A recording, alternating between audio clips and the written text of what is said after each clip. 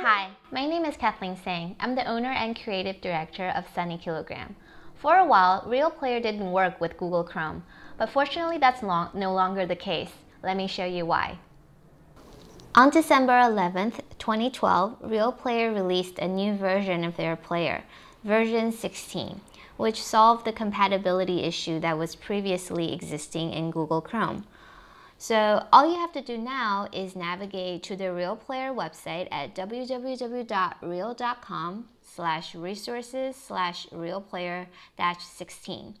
Once you're here, um, go to the right hand side here where it says Real Player free download.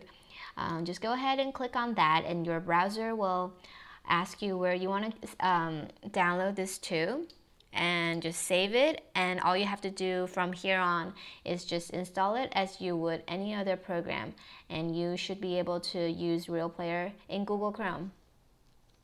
A new version of Real Player was released because the people there heard the comments and suggestions from its avid users. So continue to be vigilant and report any bugs or issues to Real Player so they can fix it with the next release. I'm Cathleen Tseng. Until next time, take care.